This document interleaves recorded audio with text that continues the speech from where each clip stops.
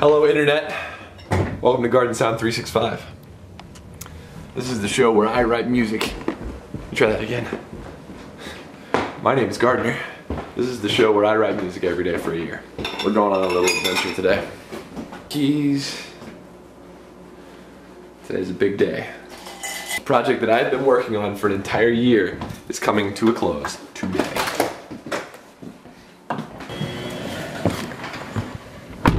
Let's boogie. So for starters, I know that filming myself while I'm driving is very unsafe. So I'm only going to be doing this at stoplights and on back roads. Also know that it's very weird to see me outside of the house. And, uh, well, I have a life too, so here I am. Um, also, I want to talk about, um, well, first I want to thank everybody for all the support that they've given me. Um, yesterday's video wasn't really supposed to be a cry for help, like I think some people saw it. Um, they thought maybe it was a cry for help, maybe I'm, um, you know, maybe I'm, I'm not okay mentally, maybe I'm not where I need to be um, with everything. And you know what? Anybody showing compassion or support is always welcome. And so I want to thank everybody who's been showing me compassion and support, um, who, who might have thought that yesterday was really just a cry for help. Um, I'm good though. I'm, I'm not.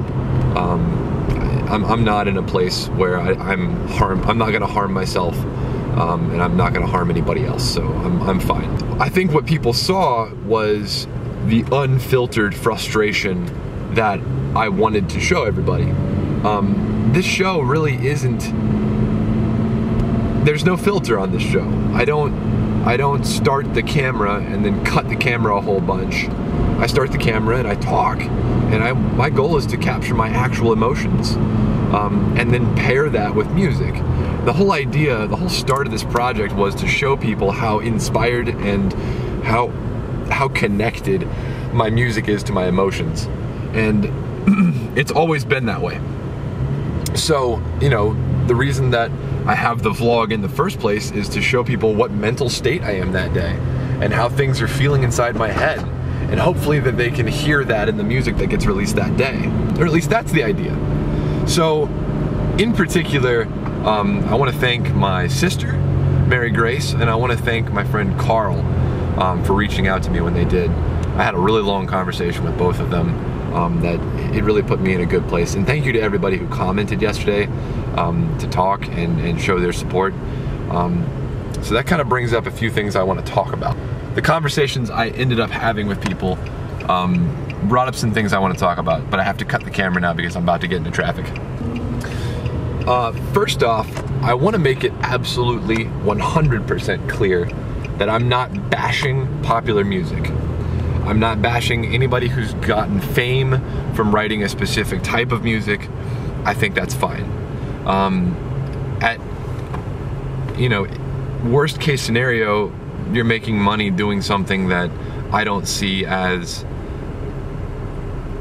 worthy of, of, that sort of attention. But the problem with that is I'm one person, and if millions of people agree that your sound is good and they're listening to you and buying your stuff, I can't fault you for that. You know what I'm saying?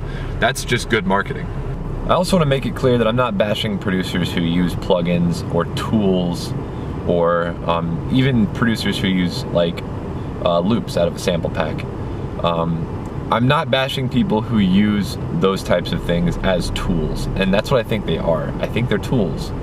Um, no, not the people. I don't think the people are tools. I think those resources, sample packs, um, loop packs, uh, plugins, I think those are all fantastic tools that can aid you in creating your art. I'm bashing producers who use exclusively sample packs. For instance, oh, here comes traffic.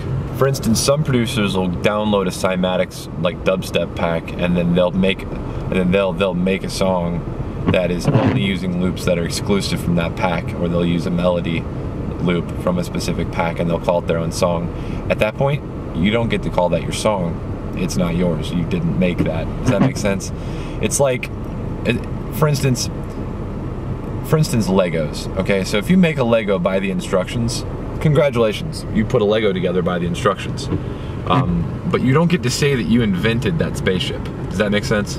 Or really any model kit, you know, like what you're do what you're doing at that point is putting together a model kit, but you don't get to call the final creation your own. You you own it, as in you bought it, but you don't get to say that you designed it. You know what I'm saying? That's not the way that works. And that's what I mean when I say easy mode producers. Producers who literally just will build these Lego sample packs, throw them together, and then claim that it's their own artwork. It's not. It's paint by numbers. You didn't design the painting, you just painted the numbers. Um, you know what I'm saying? Like think about that. Imagine if there was an art gallery where someone hung a bunch of paint by numbers that they did by the books and then tried to call it their own artwork. There'd be outrage for good reason because that's plagiarism. I also want to talk about what I said when I was talking about shit posting. Um, and some people took that to mean that you shouldn't post content. That's not what I mean. Obviously, I don't mean that because I post content every day. So if I meant don't post content, that would be very hypocritical of me to say that. Not what I meant. There are two things that I hate more than anything else in this world. One of them is hypocrisy, and the other one is lying. I hate liars, and I hate hypocrites. And so it's really important for me to make sure that it's clear that I desire to be neither of those things with this show. I'm not saying I don't want you to post your content. I'm saying I want you to look at the content you're posting and judge whether or not it's worthy of posting. Isn't to say that I should be the ultimate judge of whether or not you should post anything. No, you should. What I mean by that, don't post anything that's not finished. Don't ever post anything that's unfinished. In fact, ill.Gates, one of the best producers out there, is credited with saying that you should never even press the export button until the track is fully finished. Don't even print an MP3. Don't even export a wave until you feel like your track is finished. So if you are the judge of whether or not something is finished and you think it is finished, by all means, post that. Post that as your art, okay? That's what I'm saying. But don't post works in progress, and stuff like that. I mean, in inside of forums, you know, where it's a bunch of producers, and you know, it's like, hey, pro, pro, post your works in progress for feedback. That's different. I'm not saying that. I'm saying don't post your works in progress publicly for everybody to see, and then treat them as if they're finished works of art. That's what bothers me. I hope you see the difference there. I'm not saying to not post your works in progress. I'm just saying don't post your works in progress on public forums as finished artwork. It just doesn't make any sense. But you'd be surprised how many people do it. And all it really does is it waters down the audience's taste for that type of music. It hurts everybody.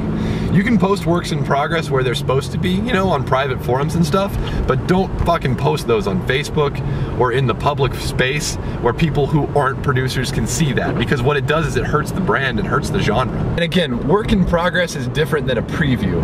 And I'm not talking about previews, but maybe that's a whole topic for a different discussion because I'm not a fan of previews either. I also got another comment, and I'm gonna paraphrase this, but I'll also post the comment on the video. Um, that was talking about how this has been a problem for for forever since the music industry has been around. Um, yes, I agree with you. Yes and no.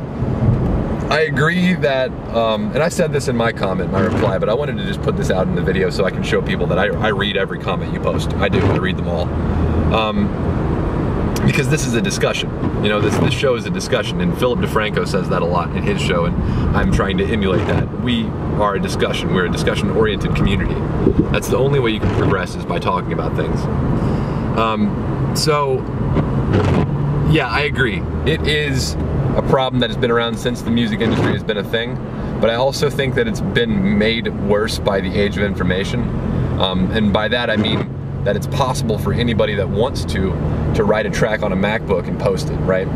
Now, that might be a hypocritical thing to say because at times I have also touted how valuable I think that is. I think the access with which people can get, you know, the, the access you can gain in the information age, the, the access to information to those who need it, to those who want it, who seek it. I think that's beautiful. I think that anybody can be a producer who deserves to be a producer. The problem is, so can people who don't.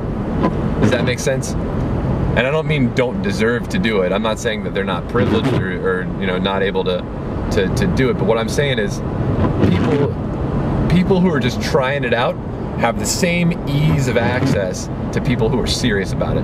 That's the problem being a musician, you know, the, the whole romantic idea of going on tour and releasing an album and getting in touch with a studio producer and that sort of thing, it used to be a journey. It was kind of a wall that would put, you know, that would separate the, and I, I hate using gendered speech like this, but it, it puts the men, you know, it really separated the men from the boys, the men from the boys. Not to say that you couldn't be a woman. Um, and it's, uh, but you know what that phrase means, right? It separates the strong from the weak. If you didn't have the willpower and drive to actually go through the trouble of doing all that, you didn't make it. And that's kind of one of the reasons I believe that music has been watered down now. The whole, the whole, there's no longer a vetting process. It's just whoever needs to or wants to can put their stuff out. Now that's perfect for people who wouldn't have been able to make it otherwise. Do you see the distinction I'm drawing there? So it's more access for people who want to do it and deserve to do it but couldn't in the past. So that in, that in that respect, it's a good thing. But it's also a bad thing in that it also gives people who don't really need access to that level of shit. I hope this doesn't make me sound old and jaded because I'm trying to avoid becoming that person. It just seems that I get worse and worse the older I get. I don't know. I also want to clarify that there's no way I'm going to ever stop. I said this I said this is my last straw and I've said that so many times in the past. There's no way I'm ever going to be able to stop. It's just written into me. You know, it's, it's part of my being. It's part of my identity. I write music. It's what I do. I love doing it. Um, I don't really like much else. And uh, I can't stop.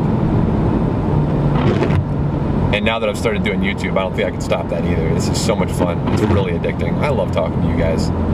I love this show. And I'm so happy everybody's sticking around. And I'm happy we've got new subscribers and I hope it continues. Please keep watching. Please keep cl clicking that like button. Please keep subscribing. Please keep telling your friends. I need the encouragement. We're doing a good thing here, you guys. We really are doing a good thing. And as soon as YouTube starts paying me out, we can start getting some charities paid and start funding the show and, and getting it getting it even better. And it's it's just gonna go up. That's the thing this is my low point, you guys. And a lot of people have said this is a professional looking show. This is the this is the least I can do right now because I'm still working my day job. Imagine how, how much better this is going to be in less than a month. So remember how I said this was a very important day and that I'm doing something huge today? You're about to find out. I'm in Jonesboro right now, going to the well, I can't give it away. I'm not gonna give it away. You'll, you'll see when we get there. So you can probably guess why we're here. Uh, Octavius. Octavius Gardner. Alright. These guys at Atlanta Disc do your discs. Buy local. Don't go to CD Baby. Call these guys. If you're in the Atlanta area, how do we get in touch with you? Uh, 678 780 1722. Boom. I'll put the logo up like right here. Alright, man. Bye. Are you ready? Oh my god, I'm such a loser. Yep it's uh it's done. Part one, part two, part three. I started this project in February of 2016 um, because I wanted to write. I hadn't written an album since Totally Nude Full Bar, so it had been about a year and a half, and I wanted to write an album again. But I had so many different ideas and and so many different emotions and directions um, that I couldn't put it all into just uh, one album. So I wrote three, and I'm releasing these as a single album uh, in three parts. And I think that's pretty cool. So I hope you can appreciate it as well. That's why they're not all 10 bucks a piece, they're all $7 a piece. Um, they're not for sale yet, they will be on Thursday. So I will be putting these up on the website. Um, I'll be putting them up uh, for individual download and also as a purchase for the limited edition CD, the hard copies. Um, I will be selling them as a three pack, um, and the price for that will be set. I haven't set a price for it yet, but I'm gonna think about it, and uh, it'll be fair. You know me. But that's also the reason I haven't talked much about part or volume volume three of Gardnsound 365. I haven't even put it up on the website, and the reason was um, is because this album was coming out, and I really wanted to push this um, instead of Volume 3. But don't worry, Volume 3 will be coming shortly afterward. I'm gonna write a happy piano song today. A little piano, a little bit of a hip hop beat, a little bit of a break beat. Yeah. See you tomorrow.